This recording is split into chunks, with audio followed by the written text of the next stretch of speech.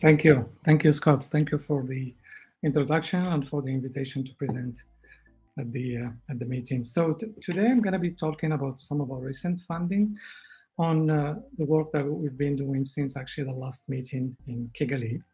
And our research program focuses on understanding both genetic and environmental factors that affect host response to infection. Uh, you can imagine how complex malaria is and the number of factors that can affect how different individuals and populations and ethnic groups uh, respond to infection. So as the um, in, during the course of infection, as the parasite goes undergoes the liver stage, then transitions into the uh, blood stage, the immune system tries to control the infection or eliminate the, uh, the parasite. But you can also imagine the number of interactions that can take place between the parasite and the host, and that's basically the focus of our work. And this is all to say that malaria is very complex, like, like most infectious diseases anyways. So the number of factors that can define the outcome of the infection range from factors related to the parasite itself, to its genetic makeup, to the functional output of the parasite, its RNA, its proteins and metabolites, as well as the host genetic factors, again, ranging from genetic, epigenetic uh, factors, host molecules. And on top of this, you have a lot of uh, processes that relate specifically to the immune system and the environment. So environmental factors as well can uh, affect these uh, sort of interactions. So the focus of our studies have been uh, transcriptomics of gene expression profiling in the last decade or so. And more recently, we've been trans transitioning to uh, looking at other types of functional outputs in the system, like the metabolome.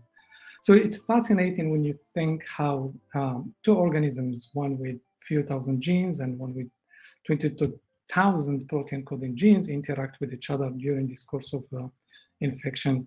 And these interactions are very important because they really define the outcome of the infection, whether it relates to the phenotypes or the traits of the, of the human host, or the traits of the that are related to the parasite like parasitemia. And in, in the, all, all of these processes, as I mentioned earlier, can be affected by genetic and environmental factors. So the program that we set up that I presented, uh, I think five years ago, is in Burkina Faso. So we have a wonderful collaboration with the team of Dr. Uh, Soulama Issiaka. And since then, we decided to uh, recruit a cohort. It's a small cohort of 150 children from the Gouin ethnic group uh, in, in uh, the Banfora region of Burkina Faso. And we decided to focus completely on in vivo phenotypes. And the idea was really to sample children over time uh, during the course of infection, before infection, after infection, uh, and, and in, in two or three years of time. And this really requires a lot of collaboration from the local community leaders and nurses and a wonderful team of uh, young African scientists as well that are part of the uh, team of uh, uh. So in terms of the technical approaches that we use in this program, they, we try to really maximize how we can use these biological samples. So, and our focus again is blood stage malaria. So what we do, we collect blood samples and we developed uh, a lot of protocols to be able, from relatively small samples of volumes of blood, to be able to do DNA work, RNA work, serum, as well as PBMCs. And today I'm going to be focusing mainly on the work that uh, we've been doing in the last, uh, I would say, five years, which is mainly on total RNA-seq, microRNA, and metabolomics. So for the first study, which is really focused on looking at the uh, immune response in relation to microRNA, and I actually I presented the preliminary results of this project in Kigali, and but since then we made a lot of progress, and uh, that's what I'm going to be presenting in the next 10 minutes. So the idea was really simple. We want to focus on a group of children before infection, and the design, because malaria is, is, is seasonal in, in, in, in, in Burkina Faso, we have an opportunity to actually sample children before infection and follow them over time and do weekly visits uh, and sometimes bi-weekly visits and we can really track when they get infected. And in this regard, we've been able to uh, sample about 20 children during the asymptomatic parasitemia stage, meaning that they don't show any symptoms, but we've actually detected the parasite in their blood. And then we keep following them again on a weekly basis till they have symptoms, and then we sample them again. And then they are given the uh, uh, treatment and we sample them three weeks after. And again, this is a match design, which means that it's a very nice way to control for other variables. So it's not a cross-sectional design. So we've done this for one year and then we went back the following year where we did a replication study where we focused mainly on symptomatic parasitemia and again in the same area of Burkina Faso. So once we have blood samples, we extract total RNA and we construct microRNA library. It's quite different from my um, uh, like regular uh, RNA-seq library. It has extra steps because you have to run a gel and cut exactly the bandwidth the microRNA uh, transcripts are. And as you can see here, the uh, the, the, the microRNA library, as you can see here, was very nicely captured. And then we do sequencing. And using this method, we detected 320 microRNAs in these individuals.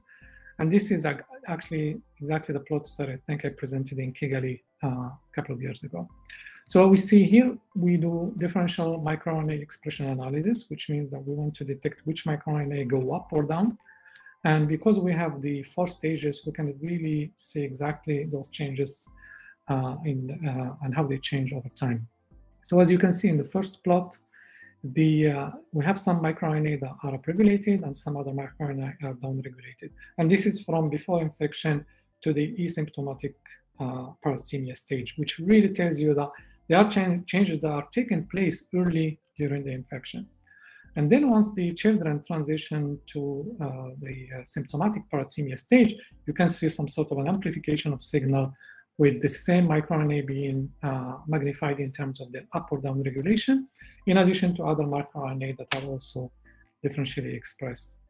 And what's very interesting is that after treatment, three weeks after treatment, you see the opposite effect. So what we see here is like the if the micronome reverts to before infection status. So microRNA that are upregulated during asymptomatic parasitemia start to actually be downregulated and vice versa. MicroRNA that are downregulated during asymptomatic parasitemia, they start to going up again. And this is again really a clear indication of how fast changes in microRNA can take place in the uh, blood of children.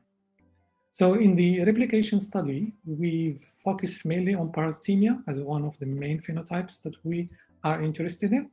And we're very pleased to actually uh, detect a lot of microRNA that are positively correlated with parasitemia that are upregulated during infection and vice versa, with the exception of one microRNA. So this was really indicative of a potential association between parasitemia and those microRNA, hence probably a functional, uh, with some functional consequences. And in total, we've detected 127 microRNA that are either induced by infection or are associated with parasitemia. And that was the focus of our uh, uh, works uh, in the last couple of years.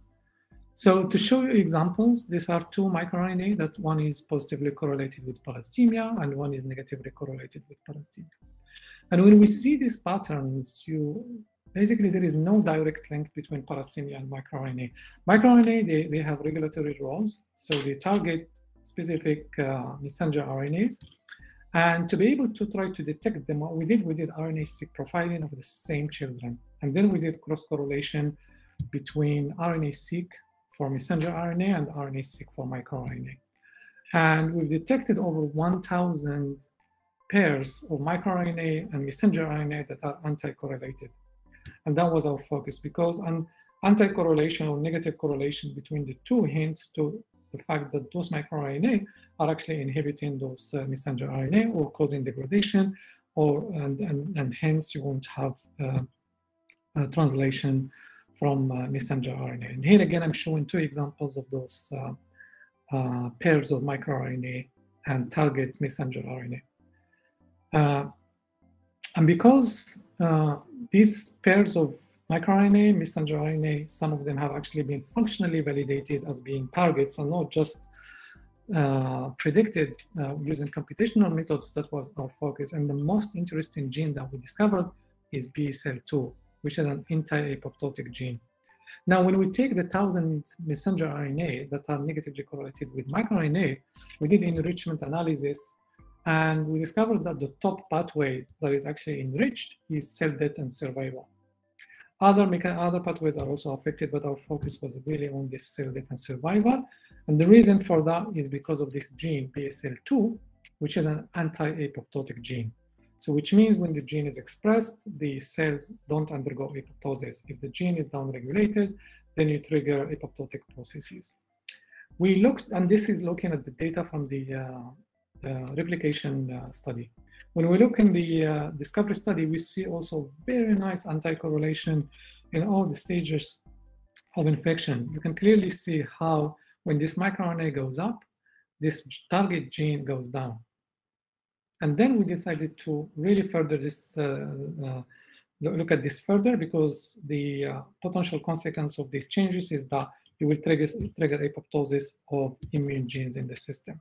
And because we have uh, generated the, uh, the lymphocyte counts from these children, we've seen a very nice correlation between lymphocyte counts and the BCL2 gene or an anti-correlation between the microRNA and the lymphocyte, which hints again to an effect that has consequences on lymphocyte counts.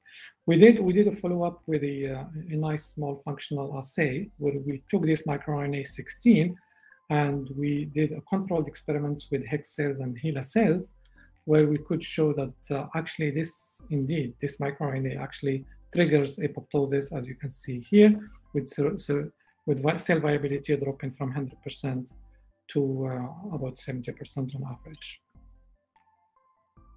Okay, so as a follow-up of this, we decided to really look at the genetic makeup of these children and see if some of these uh, microRNA are actually genetically controlled. And because we have whole genome sequencing data from this cohort, we've done an uh, EQTL study for this microRNA. And we discovered 34 microRNA that are controlled uh, that are controlled by regulatory SNPs.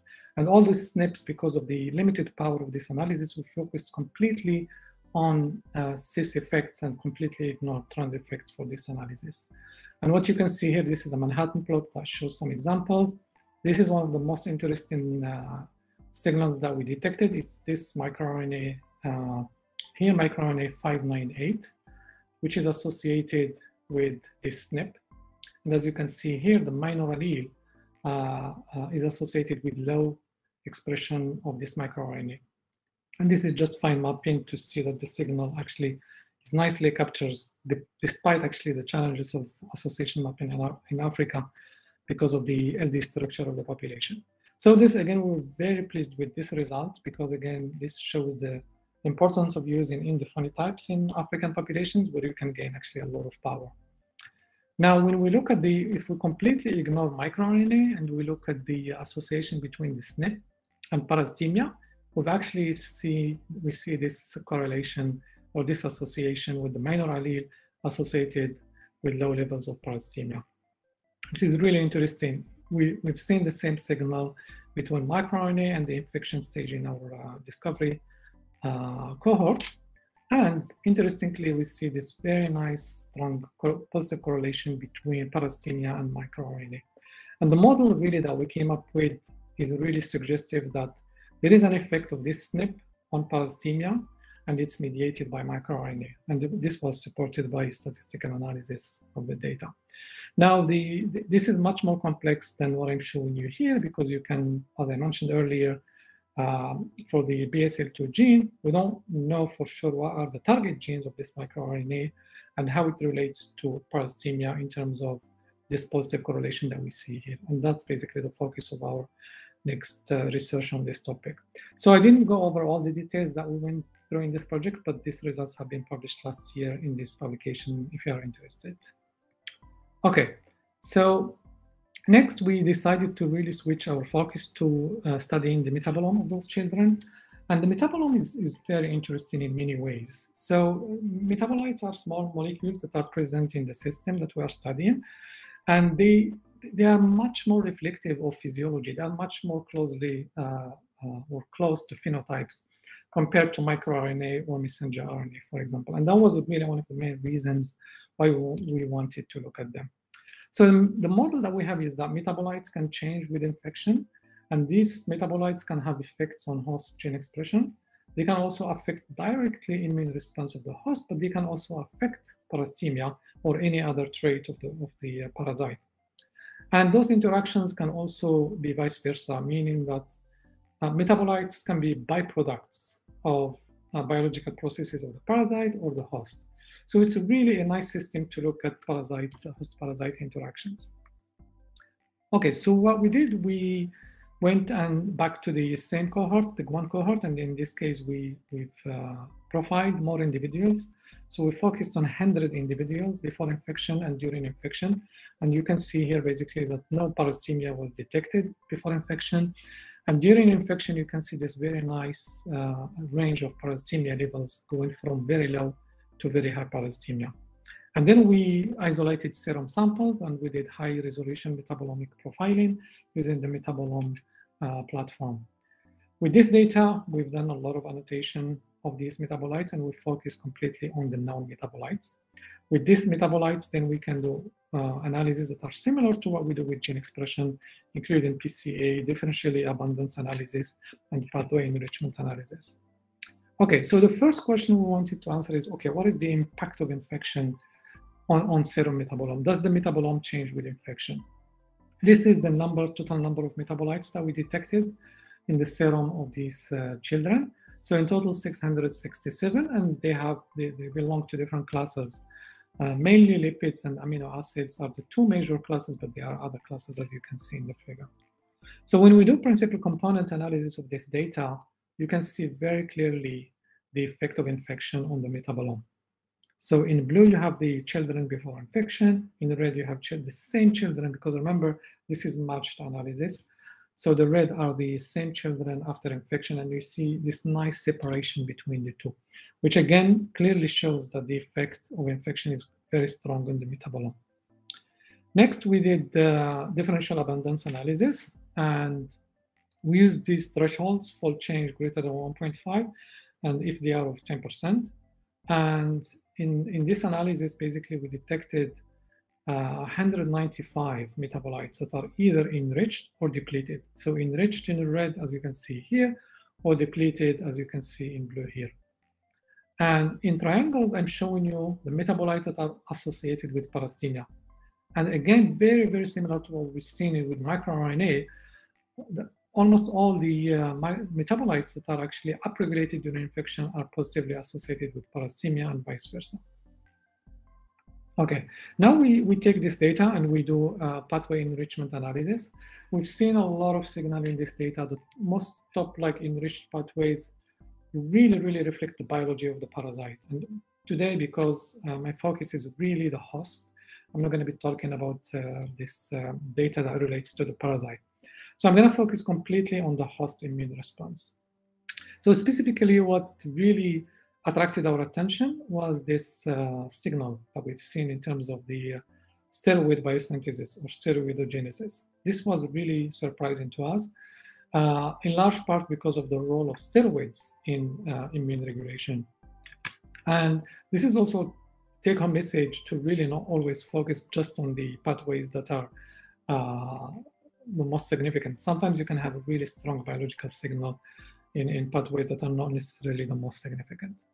Okay, so when we look at steroids, they, they are actually the most the, the most uh, abundant class of molecules that is uh, differentially abundant. And when we look specifically at those that are associated with parasitemia and that are elevated, we detected 20, uh, sorry, 12 out of, out of, out of 37 being, uh, being in this class, which is, means upregulation and associated with parasitemia. And here I'm showing you a heat map of the data where you can see them and you can clearly see, so each column is one child and we have basically 100 children here and the same 100 children here. And there is a perfect clustering based on, on infection status. And you can see in red, which reflects the levels going up, you can see that all of them basically going up after infection. Here I'm showing you an example of a uh, steroid called pregnenolone sulfate, and you can clearly see that the, the uh, this metabolite or this steroid goes up after infection. And it is, as, as you see here, it is associated with parasitemia. Okay, So steroids, as I mentioned, are really interesting. They are classes of molecules that are sex hormone precursors, but can also function as inflammatory regulators. And specifically, they have anti-inflammatory responses, which means that they dampen the uh, immune system. So because we have the uh, lymphocyte count, we decided to look at this because if you have an elevation of, of anti-inflammatory molecules, you will be able to see uh, uh, downregulation or reduction of lymphocyte counts. So we did cross correlation between all these steroids and cell counts and hemoglobin. And as you can see here, we don't see any correlation whatsoever in, in, in positive or negative between lymphocytes and steroids, as you can see here uh, with one example. Interestingly, when we look at the, uh, the same data, but during infection, you can clearly see that we see this very strong negative correlation between the most of the steroids and lymphocyte counts, as you can see here, as well as negative correlation with parasitemia. So this, we were very intrigued by, by this uh, finding because this really would hint to the, to the idea that these steroids, when they go up during infection, they will uh, have an effect on lymphocyte function. So to be able to gain more functional insight about this uh, hypothesis, we decided to go back to our transcriptomic data and we focused on 36 children and we did integrative analysis of metabolomic and transcriptomic data. We looked specifically at those 11 steroids and we cross-correlated them with over 12,000 transcripts. And we focus on uh, the uh, pairs of metabolites and steroids and RNAs that are significant. So and we've done this in, in, in both data, data sets, before infection and during infection. And interestingly, before infection, we don't detect a lot of uh, significant correlations. As you can see here, 61 and 49, either negative or positive correlation. But during infection, this number uh, increases to over 1,500 negatively correlated pairs and over 2,000 positively correlated steroid RNA pairs. To show you this is an example, this is a gene of interest because it's actually involved in one of the synthesis pathways of this metabolite or this steroid. And it, that's exactly what I mentioned earlier. You can see that before infection in blue, we don't see any correlation whatsoever between this gene and this metabolite. But during infection, you see this very strong correlation, positive correlation between expression of the gene and the steroid. And again, it makes complete biological sense because this gene is involved in the biosynthesis pathway of this steroid. And then we took all those genes that are uh, uh, significantly associated with these steroids, and we do ingenuity enrichment analysis, both in the before infection and during infection stage. And you can clearly see here that there is a signal that relates specifically to T cell function or lymphocytes in general. And this effect is not significant whatsoever before infection. And the z-score here indicates either inhibition in blue or activation in red of those pathways. In particular, what I really would like to highlight are the fact that what we observe is a strong uh, inhibition of T cell activation signaling pathways and strong activation of T cell exhaustion signaling pathway, including the, the uh, PDL1 signaling pathway. So again, a combination of activation and inhibition of pathways, but they all hint to inhibition of T cell function or lymphocytes in general. So I won't have time to go into the details. We've done a lot of uh, follow-up statistical analysis to really look at the, uh, the effects between the transcriptome and the steroids and lymphocytes count. And they, they uh, through this analysis that we call causal mediation or duration analysis, we now have strong evidence that these metabolites affect lymphocyte count through regulation of these master regulators of T cell function. This is the list that we looked at. And before infection, we don't see a strong signal or strong mediation signal for most of the genes. And as you can see here, during the infection, we see a very strong mediation effect. And when I say moderation on top of mediation, what I mean is, is that this effect is only seen during infection. Because keeping in mind those metabolites and genes are actually present before infection, but the relationship between them doesn't have any effect on lymphocyte counts before infection. We only see it during infection.